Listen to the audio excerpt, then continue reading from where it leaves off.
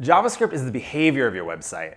So it's one of the three front-end languages where we have HTML as the structure, CSS as the style, and JavaScript is the behavior. So it's really how those elements kind of move around and animate. Animate's a good word on the web. The code for JavaScript looks a little something like this. It has these two script tags, and in between it's where you write your JavaScript. And when we add this, when we add this one line of JavaScript, you get these kind of really simple, boom, yo, I'm made with JavaScript.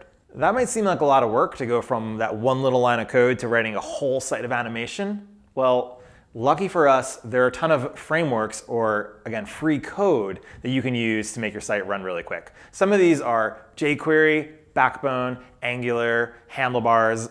You'll see a lot of these have the JS in the title, Angular JS. That JS means it's made with JavaScript. And again, it's free code that somebody made with JavaScript and they're like, here, have all this code and make something awesome.